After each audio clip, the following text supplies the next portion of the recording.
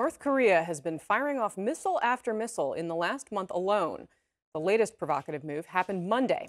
Pyongyang claims the precise target was hit after test firing two short range ballistic missiles.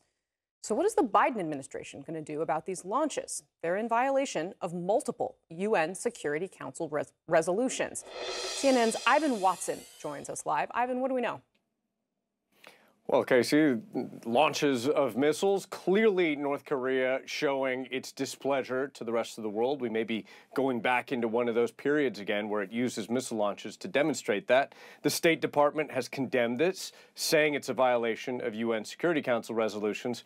But no expert I've talked to expects that that kind of condemnation will stop North Korea from its missile launching spree.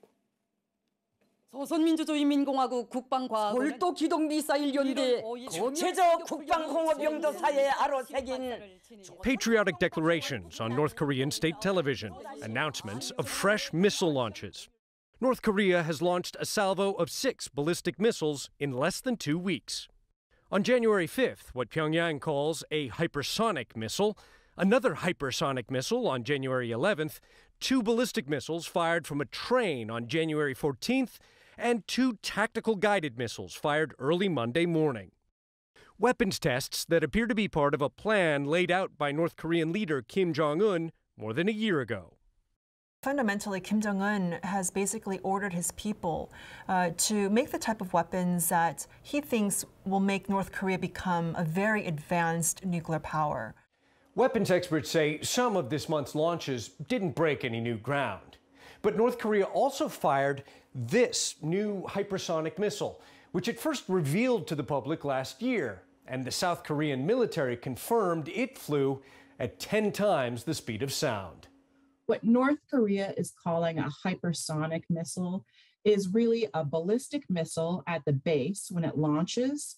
And then on the top, it has a maneuverable warhead, which means it can um, move in a way that is unexpected.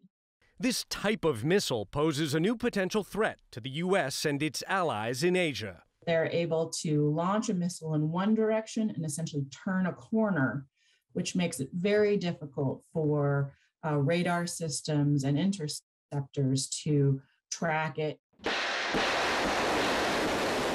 The latest missile launches, a reminder of the flurry of missile tests North Korea conducted back in 2017.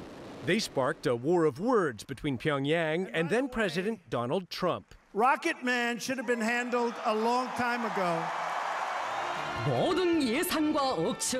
Eventually, Trump and Kim staged three historic face to face meetings and a lot of letter writing. We've had, uh, what, you know, during Trump administration, by, by my count, 27 letters exchanged between Kim Jong un and Donald Trump. Kim Jong un, you know, wants that kind of attention. Former U.S. diplomat Joseph Yun advises the Biden administration to try harder to engage with the North Korean regime. Otherwise, we're going to return to the bad old days of 2017, which is really a, a crisis atmosphere. So far, Pyongyang has rejected multiple U.S. requests for talks. In the meantime, the Biden administration imposed sanctions for the first time last week in response to North Korean missile launches, targeting North Korean and Russian nationals, as well as a Russian company accused of helping Pyongyang's weapons program. North Korea accused Washington of gangster like logic and launched two missiles the very same day. Clearly, the North Korean government does not want to be ignored. A final piece of important context here. North Korea, never wealthy, has been going through tough economic times uh, because it's shut its borders almost completely throughout the COVID pandemic, and it's had low crop yields with this terrible flooding that's taken place. And the government has even admitted that it's having food shortages, but that has not stopped it from investing scarce money and resources into its weapons programs. Joining us now, columnist and author Gordon Chang. His latest book is The Great U.S. China Tech War. Gordon, North Korea claims they're just modernizing their defense capabilities. But what do you think is really behind this string of launches, the sheer quantity just this month alone? Why now?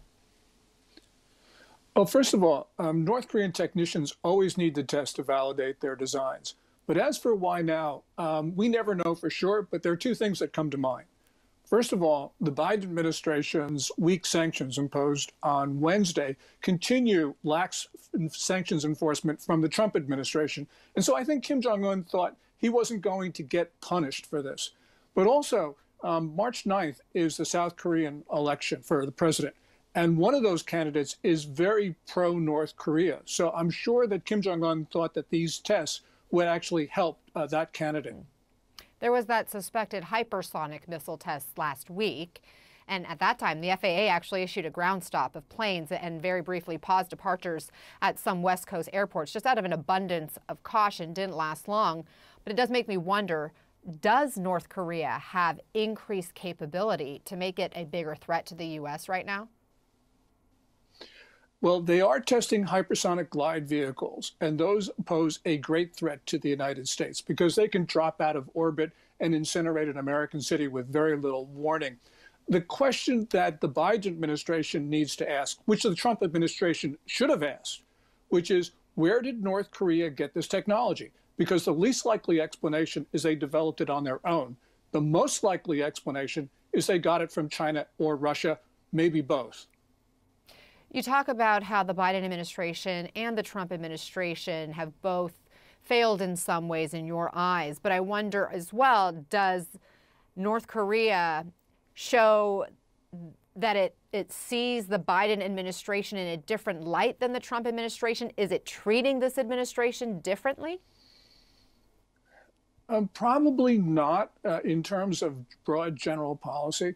Um, Kim Jong un wants sanctions relief. Um, and so he's testing the Biden administration, just like he tested the Trump administration and other administrations before that in their early phases to see how far the North Koreans could push the U.S.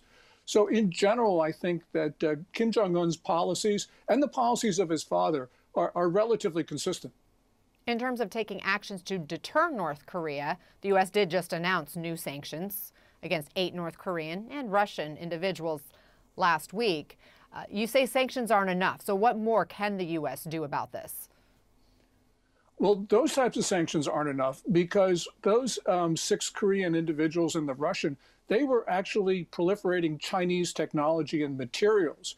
And so China runs a near total surveillance state. Beijing knows what's going on because North Korea is obviously a very sensitive issue, as is nuclear proliferation. Um, so what we need to do is to show China that we're not afraid of it by actually starting to impose sanctions on China.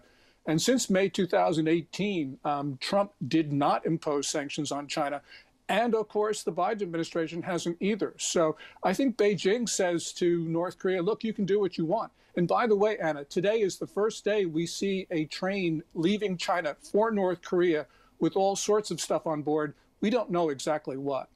So you think the U.S. has to do something to basically send a message to China in order to change the behavior of North Korea? Yes, because North Korea, especially these days, uh, with a COVID lockdown economy, um, with all sorts of internal problems, especially needs China's support. So North Korea is not going to do anything these days that it believes is going to anger Beijing. So all of these tests have approval in the Chinese capital, which means that if we really want to do something about this, yes, we've got to impose sanctions on North Korea, but we have to go after its sponsors, which is China and Russia, but especially China. It's very interesting, Gordon Chang. Appreciate your expertise. Thanks for being here. Thank you for watching others episode coming.